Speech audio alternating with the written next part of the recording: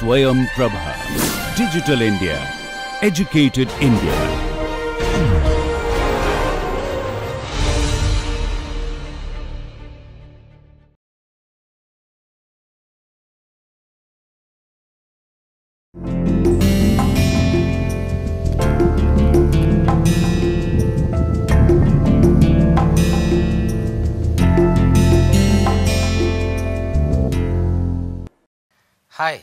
Welcome back to the MOOC NPTEL course on developing soft skills and personality. I am Ravichandran. I am with you for uh, this course throughout. Uh, I am a professor of English from the Department of Humanities and Social Sciences, IIT Kanpur. So, how was the day yesterday? Yesterday I left you with two examples for uh, conflict resolution. Were you able to work out the examples? I suggested that you should be able to working out coming with solutions based on the uh, tips that I had given. Before I start uh, giving you the solution, let us quickly look at the highlights of the previous lecture. In the previous lecture, I actually uh, told you as how you can resolve conflicts. I also told you that uh, you should not be praying to God that your life should be without any conflicts. Rather, you should be asking God to give you strength and soft skills to actually resolve the conflicts. Instead of thinking that I will be peaceful if there are no conflicts, you need to think that you should have the ability to sort out these conflicts and only then you will be peaceful. And in doing that, I was telling you that unlike the corporate kind of approach, I suggested always aim at a win-win approach. Now to aim at a win-win approach, I also told you that try to look at both sides now, in any conflict there are two sides and there is also a third side and sometimes more than three sides. Now, you should be able to look at the things out of the box which the partners who are involved in uh, conflicts are not able to see and at the same time you should always give contingency to the third option that is possible. Uh, I also talked to you about the conflict resolution skills in general and the process that you should be using if you want to resolve any conflicts. In that context again I gave you two conflict situations, two small anecdotes, one conflict that happened between husband and wife, the other one that happened between father and son. Uh, I hope you remember that uh, in order to solve the conflicts, some of the points that I told you like you should choose a conducive environment, you should try to do brainstorming, you should get the facts first before actually uh, trying to sort out this thing. You should go for active listening, you should focus on the problem not the person. You should try to diffuse, manage anger. Uh, if they are angry, you should actually try to make them feel cool before you actually start negotiating with them. You should avoid communication blockers, you should use your empathy skills. If you are part of the conflict, you should empathize with the other person and then you should try to go for cognitive restructuring. You should try to restructure the entire thing through a logical and perceptual manner uh, giving contingency to the fact that there will be perceptual errors and you try to point out to the concerned person like how uh, the perceptual thing can be restructured in such a manner that they try to see the reality, they try to understand the truth. And then you should negotiate the outcomes with them and then you try to choose a solution that is working for everybody that is favorable to all. Now, I gave you two situations. The first one uh, is between a husband and a wife and uh, again both are examples for uh, interpersonal conflicts between two people. And in both these cases uh, we call them as affective conflicts. That means the emotional conflicts which are very risky and then very uh, dangerous to deal with. But if you do not deal with that they can explode like time bomb and then cause uh, complete damage to the relationship. So much so that you will not be able to bridge it after that. Now in the both cases that I gave uh, the first one uh, between the husband and the wife you know that they are a very loving couple and then the conflict has started. How did you work out the conflicts? I told you to look at this and then come out with some uh, suggestions, some solutions. Uh, did you try to analyze that and then try to use the suggestions process that I told you and then how would you have stopped uh, this couple from being getting divorced? Did you think of that? Now if I were to do I would have started like this but before uh, telling you my uh, step by step method in which I would have started uh, working out the process of resolving the conflict. I want you to uh, have in mind one interesting and important idea. So, that was uh, discussed by Bertrand Russell although it is not an essay on conflict resolution, but there is a very interesting anecdote that he shares with us which actually tells us how you can pin down any conflicts and then resolve it very easily. Bertrand Russell interestingly if you know uh, he is the uh, person who is a renowned philosopher, mathematician, he fought for uh, peace, but he also got uh, married thrice and then he got divorced thrice. And in the fourth time when he got married he also wrote this uh, famous book marriage and morals. And incidentally he won the Nobel Prize for literature. Now uh, such a dynamic personality who has undergone so many conflicts and then who is full of knowledge and wisdom. And uh, uh, it is worth reading the entire essay knowledge and wisdom if, if you want to develop your uh, soft skills towards uh, resolving conflicts. But at this stage I will just focus on one part, one episode, one anecdote that he talks about. So, let me just uh, uh, briefly narrate that for you and then I want you to apply the same thing to the two cases that I have discussed or any such case that you will come across in life. Look at this, he says, consider the case of two men. So, he does not want to name them, he says Mr. A and Mr. B who hate each other and through mutual hatred bring each other to destruction. Suppose you go to Mr. A and say, why do you hate Mr. B? He will no doubt give you an appalling list of appalling list of Mr. B's vices. So, all bad things about uh, Mr. B, A will be giving you a list. Now, Russell says it is partly true, but partly false. You might also know that because we always try to look at the faults of others and we tend to exaggerate them overlooking our own faults. So, he says that now suppose you go to Mr. B he will give you an exactly similar list of Mr. A's vices with an equal admixture of truth and falsehood. Okay. So, you have collected two lists one from A one from B, but both is not completely true, but then it is completely uh, talking about the voices of the other persons. Now, suppose you now come back to Mr. A and say you will be surprised to learn that Mr. B says the same things about you as you say about him and you go to Mr. B and make a similar speech. The first effect no doubt will be increase their mutual hatred. They will initially feel that oh he is saying so many bad things about me. So, the hatred increases since each will be so horrified by the other's injustice. How could he say that about me? I am not like that. He is like that that is the initial response. But perhaps if you have sufficient patience and sufficient persuasiveness, you may succeed in convincing each that the other has only the normal share of human wickedness and that their enmity is harmful to both. Meaning all human beings have this good side and the bad side, the vices and then the virtues so, if you tell them that it is normal that any human being will have this kind of limitations which you have been exaggerating. So, it will be possible for the other person to realize that enmity for both is going to be very harmful and then you will be able to bring harmony in the relationship. This is an interesting tip that he gives about conflict resolution although as I said he, uh, he does not directly talk about that and he says if you can do this you will have instilled some fragment of wisdom in you in those people also.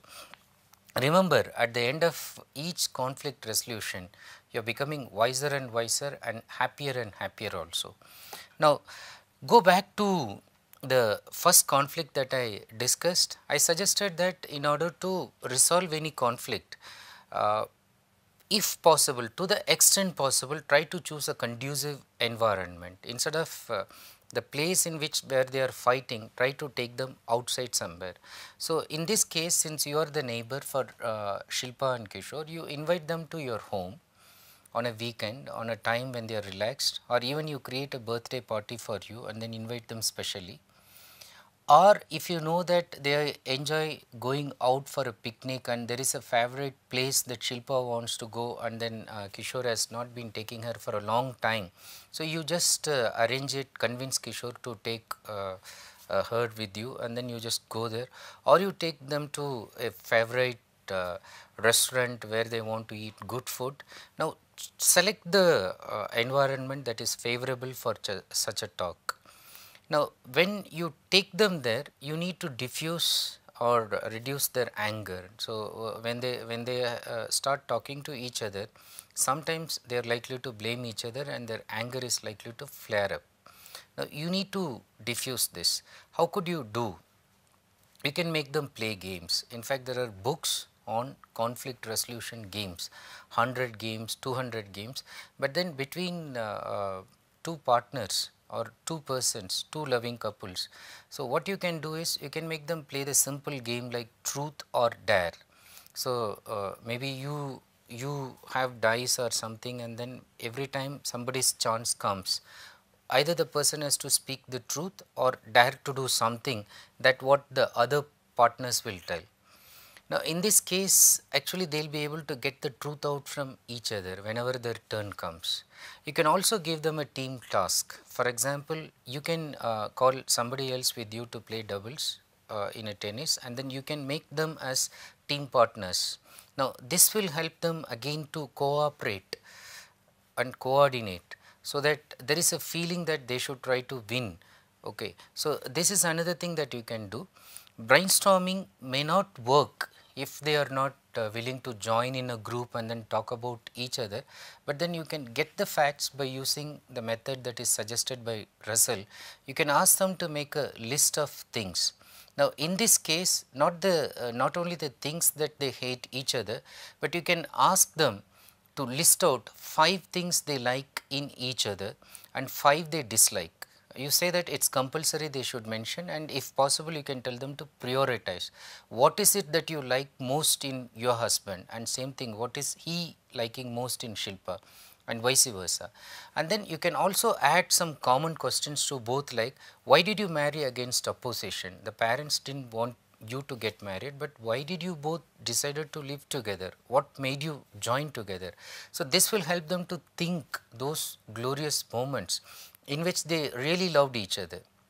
And then you also ask them questions like why don't you share the problems at job particularly to Kishore. So, you find out why he is not able to do that, why is he reluctant to explain what is happening to him in the job.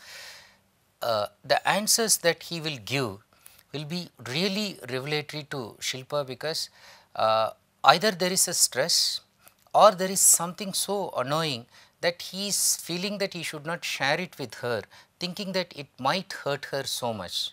Maybe he has performed so badly, maybe he is incurring some loss and then he does not want her to lose confidence in him and it's, it's annoying himself, but he does not want to tell it to her. Now to Shilpa you can ask questions like what do you do at home? How do you feel in the long absence of Kishore? How do you manage? What like is it just watching the TV that is uh, sufficient or are you doing something? Are you taking a part time job? Are you doing a course? Are you interested in some hobby? So, these kind of questions like even Kishore might not know what she is doing in his absence. Now, as suggested by Russell, you can exchange the lists with their permission, without their permission depending upon the level of uh, trust that is there at the time and then show to each other that look, look at the 5 points. So, that shows that both of you are actually still in love with each other but you are not liking each other because of the recent behavioral changes which have happened maybe due to certain circumstances and then you bring them together and find out what could be the circumstances, what made them lose trust in each other, what made particularly Kishore become uncommunicative. Now do the active reflective listening, listen to what they have to tell about each other and who triggered the conflict. Now again here focus on the problem not the person. Whomever has done it first, Shilpa, so do not join Kishore and say that oh it is Shilpa who did it, so do not blame her and vice versa. If it is Kishore, so do not join her and do not blame him. So you are not there to blame uh, anybody, but you are there to focus on the problem. The problem here is the relationship has reached such a conflict and stress, stressful situation where they have uh, reached up to the level of divorce. Now, how are you going to stop this? So, do not take sides or approve of one sided blames, but then try to show that you are actually a very empathetic person. And uh, uh, before doing that if they are making some kind of communication blocks uh, for example they lose their temper and start shouting at each other or when uh, one is talking the other one says shut up you loud mouth you always speak like this you never know anything and then the uh, famous dialogue you never understand me now, these kind of things are actually communication blockers and then that will not let you progress. So, you have to stop them very gently, politely and you have to make them realize that you are there for solution not for creating problem. Use your empathy skills, use also those skills to make them realize it is important that they also empathize with each other. Make both feel that you are clearly understanding their problems and you are there to help them. Now, Shilpa can empathize with his job stress, whatever it is, and Kishore needs to empathize on Shilpa's lonely feeling. And then go for cognitive restructuring.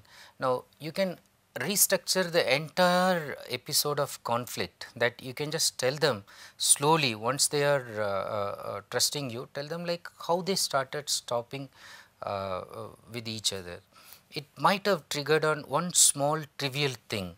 Now, you can make that into a game like situation and then you can ask them their suggestions to identify more triggers and you can even ask them how if you are really, really loving and if you are willing to forgive and forget this thing, how would I, how you would have changed this point. So, at this point you lost your temper, you got angry, but if you did not get angry, so how you would have sorted out this situation and finally you negotiate the outcomes with them. Now discuss with them the outcomes of separation. It is not going to benefit both. Kishore's stress, job stress will make him much more miserable. And in case of uh, Shilpa, if she cannot live with somebody who loved her and then left the family and came there and then joined her and then made her feel very happy in a very metropolitan kind of environment, he was all for her and then leaving him and finding a different person, new person again is going to create a lot of conflict and stress in her life. So, make her understand this. So, you can also highlight the benefits of living together. You also try to recall some of the incidents in which you can show them some of uh, uh, the video clips that you might be having when they were attending some of the parties. So, you can show them how nice and how uh, lovable it was for you to look at them, how friendly and how considerate were they and how all the time they were left to themselves. What happened, what went wrong, why did they change. So, recall those things and then make them realize, okay, uh, they are really uh, trustworthy and then they are really loving each other, but something in between has actually caused this friction. Now, remove that. Now finally, try to choose a solution that works for everybody. Some solutions could be temporary, some solutions could be permanent. Now temporary solution, if you are not able to resolve it even at that moment, you make Shilpa go to her friends or parents home for some time, like temporary separation. If she keeps insisting on divorce, temporary separation, that itself will solve the problem. Make Kishore take a break from job and make him spend more time with her the other option is help them plan for travel together. So, you just uh, make him take leave, make Shilpa uh, get rid of all her household activities, make them go somewhere a, to a resort or a, a different place which they have never traveled together where they will spend time together. And then uh, finally, you just uh, try to make them realize that they need to decide to help each other and then they have to live together. Maybe you can also suggest that they can plan for a baby. It's high time that uh, they plan for a baby because all the uh, conflicts can be resolved when they look at the baby and then they'll learn to become more tolerant, more patient and they'll learn to uh, give each other. So, this is the way you can uh, uh, sort of sort out the conflict between uh, especially people who are in intimate relationship but uh, they are in a kind of conflicting situation where they would have actually caused complete damage to the relationship. Now, a similar situation is happening with regard to the interpersonal conflict between the father and the son. So, already you know the background. So, the dialogue is between going to a, a summer trip and then the father is not allowing him to do. Now, here I just want you to analyze this from a different point of view like seeing in a dialogue what is triggering, what is the conflicting time and what is that break point, how is it happening and then if you are able to realize that you will control if you are one of the persons involved in the conflict using such kind of language. Now look at this, dad you promised me okay. So the first thing is there is is putting uh, emphasis that he promised. Now between emotional relationships, it is important that you should remain trustworthy. If you make a promise, you fulfill it even if it is a very small promise like I will give you a chocolate if you pass in this exam, you need to give it. You cannot say that oh you passed it now let us see next time. Now that will disappoint the child. So he promised but then father says yeah I promised if you get 10 point CPI now, uh, dad is insisting that okay, I will follow my promise provided uh, provided that you might have got this uh, expected marks. Now, he says I got 9.6 and then slowly you see up to here it is not triggering, but then it is like when he says, but it does not make it 10 kid. So, even the word kid is slightly provocative here in this context although he might not have intended it that way. Instead of saying uh, it does not make it 10 dear my dear son it is not 10 but then saying this it is like indicating that oh you immature boy so you do not know what you are saying. It is like that. And then son next he is it is a very small mild provocative but then the son uh, gets provoked further. He says you are so mean dad. Okay mean so, he has already accused his daddy. Now, the father says, so mean to you loser. Now, he took the accusation and he started blaming him. He says, you are the loser and to a loser, why should I follow my promise? And then I will keep my promise if you have made yours and if you have become a winner. And then the next worst thing that he is doing is that he is trying to compare him. He says that look at Aditya, he has secured 10 point throughout. Now, the father should never compare the kid with the other one which damage he has done is just making a comparison. But then the son is also trying to compare at his level him with the other father he says but his dad loves him and always supports him look at the word loves always supports. So, these are positive ones, but then here he is saying that by implication you are not loving me, you are not supporting me and you are not always like that. And then the next damaging word he says you hate me, hate. Again another accusation, another emotionally loaded word. Now another comparison he is making, he says you love only your daughter. Now this another worst uh, thing that he is accusing him for indiscriminative uh, way of showing love to his own children and then he says not me. Now, the father is feeling that it is injustice after all to what he has been doing. He says that is unfair after all I have done for you implying that I have done so much for you. I used all my savings to pay the fees for your college. You now the most offensive remark that he is giving ungrateful dog.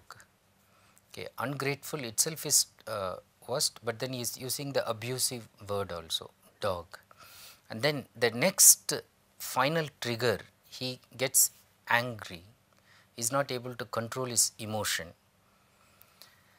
In the anger impulsively he slaps him. So, not only getting angry, but also slapping him. Now, the son since he is somewhat submissive he starts crying. Okay. Now, this is again an emotional outburst and then he makes the other damaging remark he says you will never understand me that, never understand, never and then again he continues to say I hate you. I am leaving home right now. I'm leaving home right now and is about to go. I said, now if you are the mother, how will you stop this guy and then how will you do this? Now choosing a conducive environment here, so you can take them to separate rooms and talk to them separately or you take them together to uh, a favorite place like a temple or a mall where you can sit uh, at a uh, different place, calm place and then talk to each other. Now brainstorming you can sit together and then tell that okay look for daddy it will not be possible for him to take you to somewhere abroad this time because he is in a financial crunch that is fact and then you try to tell them that this is the situation. If you want you can see his bank balance. But he can take you to some other place. Let's think about it. And then from your side let's see how you can improve on this situation. Do you need a tuition for particular subject where you have lost marks. Now, this is brainstorming trying to gather more ideas and getting the facts. Know who said what. Like you were not there in the situation. So, you can tell them probably you should not have said this so that it's triggered his anger and probably you should have also avoided saying this. So, listen to both without being prejudiced. Focus on the problem like take the kid for a trip that is the problem. So, the son wants to go for a trip that is the problem. Now, father has aggravated the situation because of his own uh, uh, expected uh, wishes and sometimes it uh, uh, like you need to find out why he got angry. Is it just because that uh, his son is not able to perform or is there something inside him? Is he hoping that some of his unfulfilled dreams or the ones that his son will be able to actualize? Is he trying to correlate that? Just try to find out. And then diffuse manage the anger just by showing your love, showing your concern by uh, giving them good food, maybe uh, giving them a pat, giving them a hug and then avoid communication blockers like not let them blame each other anymore. Use the empathy skills, make them know that you feel the pain at the same time uh, make them realize that they should also not uh, start hurting each other like this. Now, in the cognitive restructuring, tell them how better the situation could have been avoided. How? By stopping the comparison first of all and then telling the father like when he started comparing with the other kid and then insisting on the CPA, telling him that 9.6 and 10 it is not so big a difference it is almost close. So, you can make him realize that it is not a big difference and you could actually forgive your kid for that and then try to keep the promise. But if financial thing is an issue so that is a separate problem. So, do not combine that with this and then you can also make him realize that is getting marks more important than your son's well-being if he is psychologically affected, if he feels so let out, if he feels depressed, if he even thinks of committing suicide, if he thinks of running away from the home and if he completely loses your control. So, how are you going to get back his love and affection to you? Now, negotiating the outcomes, you can go out somewhere, you can stay at home, but you can also uh, tell them that maybe we will not be able to go to somewhere abroad, but we can go to some very beautiful places in India. We can go to Ladakh for example, we can spend some time. So, that much money is there with the daddy and even if daddy is not having the money, I have some savings, I will use it for uh, this trip. Let us all go together. Choosing a solution that works for everybody. Now, you have to make the son realize that living at the home with proper understanding is more important than staying outside.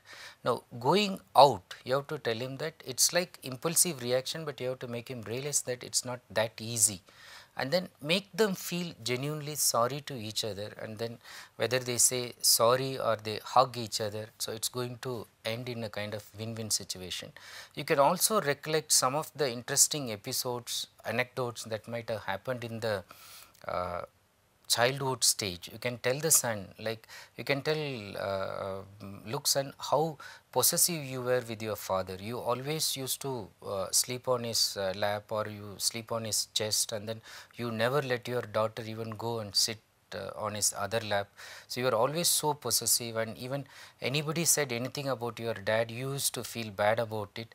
Now, how could you say this to your dad? And the same thing you can also tell the father like how could you do this? You are so affectionate and so happy when you was born and then you are all the time spending your time. Now, recalling these things making them realize that okay uh, there was uh, love and then it should not go away uh, because of this trivial situation will again uh, bring them back to win-win situation. Remember uh, before I end this when you give a win-win solution so there is an intense feeling of mutual respect at the end of it in both cases they should respect much more than how they uh, respected before and love should grow deeper with every conflict resolved. So, that should be the motto that you should have at the end of it the intensity of the relationship should grow, but it should not diminish. So, if you are able to work it out either as a mediator or if you are part of the conflicts both way it is uh, fine. Now, this is about interpersonal relationships. Now, I will come out with more uh, suggestions in the next lecture. I hope you uh, also try to work it out the way I suggested. In case you have better solutions, better suggestions, you can share it in the forum and let us know about it. Thank you for uh, watching this video and then uh, let me wish you a very uh, conflict free uh, day for at least today. Thank you.